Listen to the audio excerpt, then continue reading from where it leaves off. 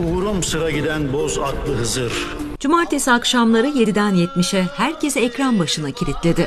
İzleyenleri sadece senaryosuyla değil, müzikleriyle de etkiledi.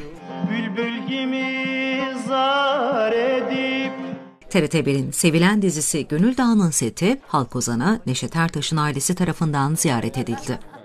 Babamızın türkülerini duymak her yerde güzel bir his.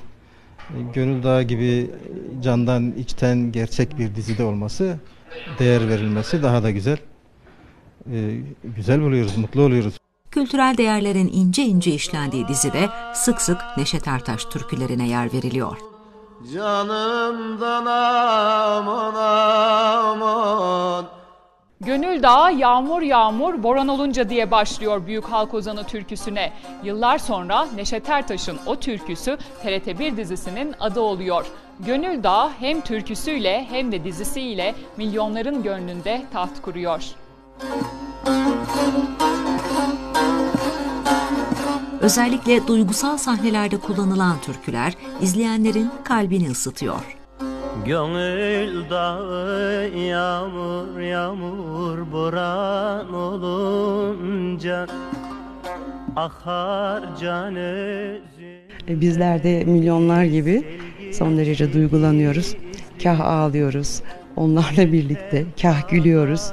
Ee, çok e, içine alan çok güzel bir e, dizi. E, mutlu oluyoruz tabii ki izlemekten. Dizi oyuncuları Büyük Usta'nın ailesinin ziyaretinden gurur duyduklarını ifade etti.